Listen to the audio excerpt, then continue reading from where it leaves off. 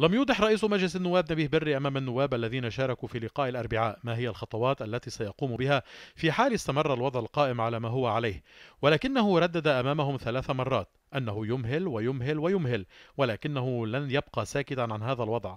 وقد فهم النواب أن المقصود هو تفعيل لعمل المجلس النيابي في الأشهر الثلاثة الأخيرة من ولايته الممددة لجهة محاولة انتخاب رئيس للجمهورية وإنتاج قانون انتخابات جديد ومعالجة مشاكل اجتماعية ومعيشية. وفي مقدمها إقرار سلسلة الرتب والرواتب وقوننة الإفادات بدل الشهادات مستندا في ذلك إلى تهيب داخلي مما هو قادم.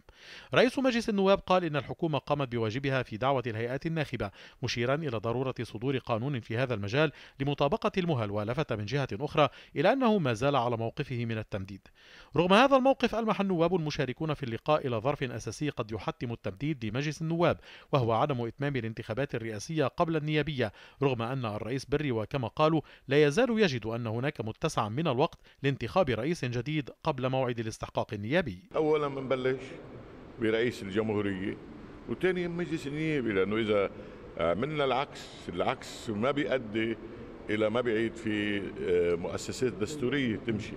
لكن أيضا انتخابات الرئاسة اساسيه واليوم مفروض قبل بكرة لأنه كمان حتى ما نوقع في موضوع الانتخابات أو ما بعد الانتخابات آه، فيما بعد بإشكالات آه، دستورية وقانونية. الرئيس بري جدد التأكيد أن سلسلة الرتب والرواتب ستكون في رأس جدول أعمال أول جلسة تشريعية، كما أعاد التذكير بملف النفط والغاز وأهمية استغلال هذه الثروة لمصلحة لبنان واللبنانيين.